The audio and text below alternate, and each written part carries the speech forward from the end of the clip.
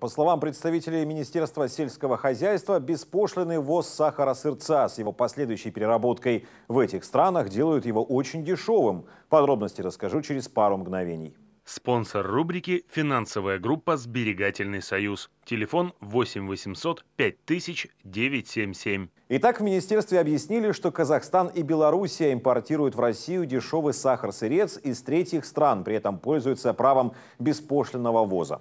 Это ухудшает ситуацию не только в России, но и в целом на рынке стран ЕАЭС. Только в Российской Федерации, по данным Минсельхоза, с начала августа по сентябрь цена упала уже на 44%, что ведет к огромным потерям российских производителей, в том числе и ряда градообразующих предприятий. При этом еще в прошлом сезоне Россия вышла на первое место в мире по производству свекловичного сахара – 6,2 миллиона тонн.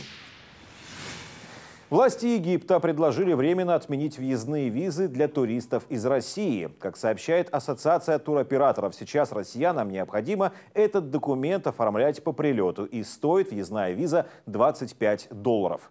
Член Комитета по туризму и гражданской авиации Египетского законодательного собрания депутат Мухаммед Масуд сообщил, что возобновление авиасообщения между Россией и Египтом является приоритетной задачей для правительства страны.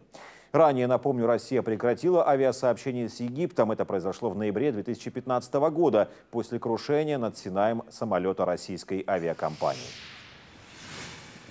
Теперь о стоимости основных валют. Рубль снизил свои позиции по отношению к доллару. Официальный курс ЦБ РФ на завтра 57 рублей 66 копеек. Рост составил 40 копеек. Евро также прибавил в цене. Его стоимость вновь стремится к 70. 69 рублей 9 копеек дают за одну единицу европейской валюты. Это на 55 копеек больше предыдущего курса.